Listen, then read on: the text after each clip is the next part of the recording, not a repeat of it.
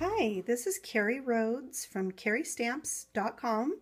I'm a Stampin' Up! demonstrator and today I wanted to share with you the new pillow box die from our holiday catalog. And in that holiday catalog we have a die that makes a standard size pillow box and today I wanted to show you that you can use that die to make an extended box like these. So that's what I'm going to show you today. The pillow box die set looks like this and it's designed to work for um, the holiday season Christmas, Halloween, Thanksgiving, fall, winter. And this is the, the biggest die right here is the one you use to um, make the box. So to make the standard box, you would die cut two pieces of paper with this die and you glue them together here and fold it up. It's really simple. I didn't use um, any adhesive on the ends because of the how it folds. It really hooks together nice. So it really opens at both ends. Like that. All right, so now let me show you how to make an extended box. So if you have a big treat, then you'll have a big box to put it in. So using this same die, we're going to die cut four pieces. And to die cut your four pieces, it's going to take one piece of your 12 by 12 paper. So make sure this person that's getting the box is pretty special. All right, so we're going to start by gluing these two pieces together. I like to use my green glue, which is really Tombow multi-purpose liquid glue. And I'm going to put adhesive on the part that normally is the opening of the box. And then I'm going to overlap my box just so those two sections where you would normally what would normally be the opener and closer part of the box, those parts are now glued together. Okay, and that's, it would be pretty hard to get this one, the other two exactly the same which is what we need. So in order to do that, I'm going to lay this one on here,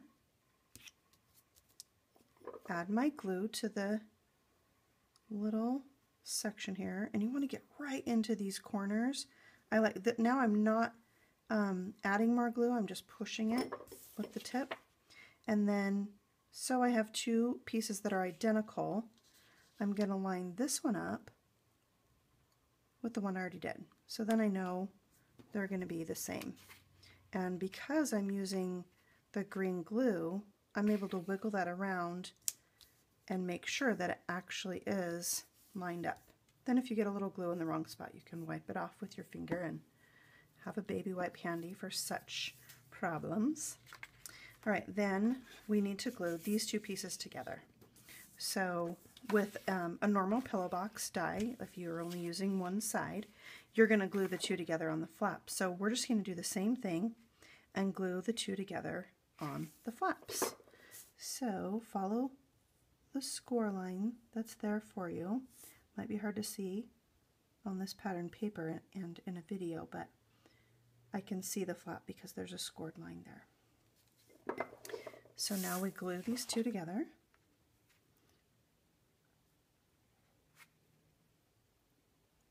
Lining that up with the score line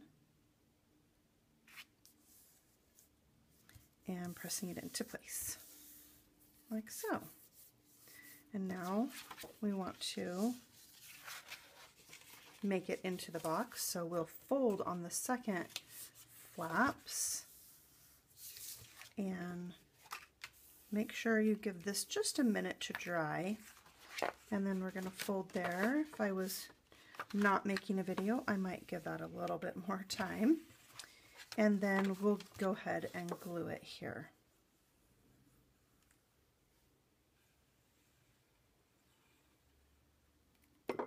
Like I said, you want to push that glue into those corners. Helps your box have a more finished look. And then this way you can just seal that right with the edge of the paper. Mostly to the edge is fine. All right, then this box opens like this. And you're going to gently find those scored lines and pinch along that scored line so you get that curve.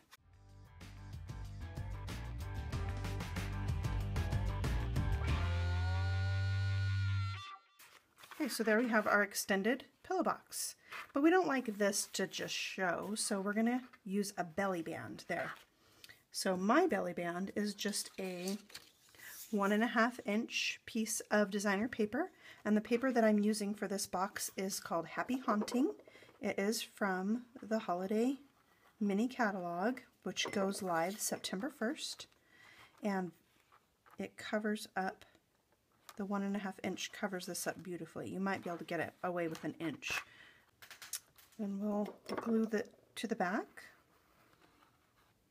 Same way. Give it a little pinch on the edge of the box. And then we'll glue this piece down. And I like to make sure it lines up with that one exactly. Right. Then we're going to make it cute. Oh, you can see here how the corners pucker if you don't get the glue all the way to that corner. So then you might have to try to doctor it up a little bit. All right, to decorate this box, I am going to use one of our spiderweb doilies, also brand new from the holiday catalog. I was so excited when I saw these. I think they're so much fun.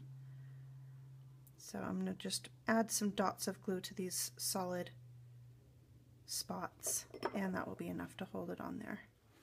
So cute. Give that a little love for a minute. Okay. And then I'm going to make um, a centerpiece there. So I'm going to set that aside. I'm going to stamp um, an image from the Howl-o-ween treat set, treat stamp set. I'm going to use um, the trick or treat there. I'm going to stamp it with the new archival basic black pad. So this is a brand new pad.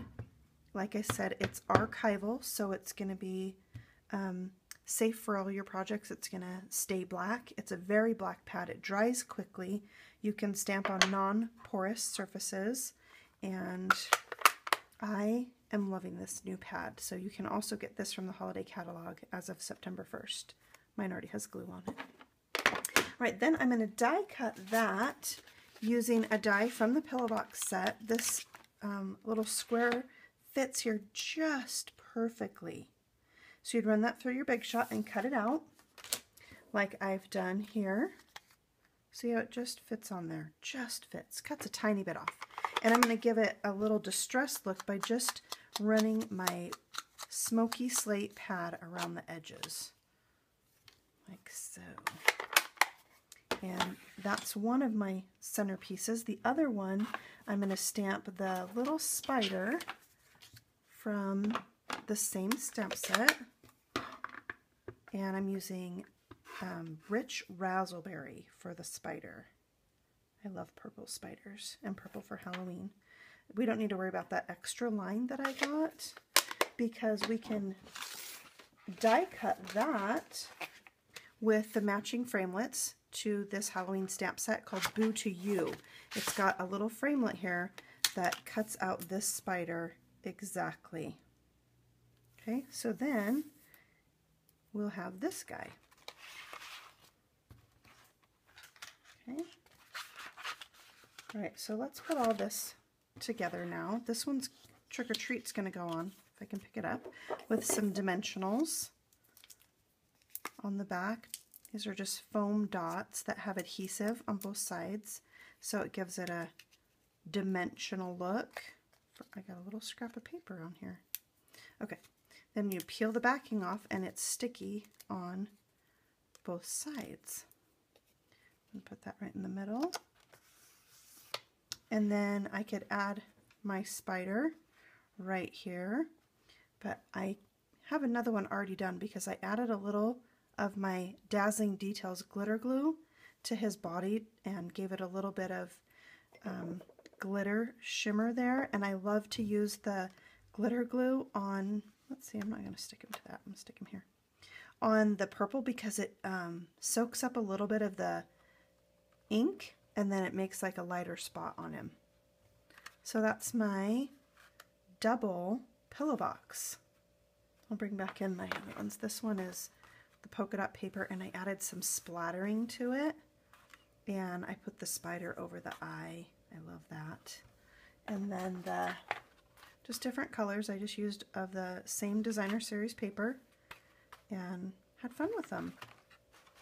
So you can get the dies I used today, the Pillow Box dies, the Boo to You dies, as well as the Howl-o-ween treat set at my online store. You can find a link in the top right corner of my blog, carriestamps.com. Thanks for watching.